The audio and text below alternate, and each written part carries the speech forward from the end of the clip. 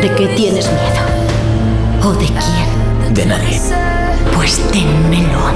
Secretos de familia. El domingo a las 10 en Antena 3. Y después La gente miente y eso tú me lo enseñaste. llega el final de la serie. Último capítulo de Infiel en Antena 3.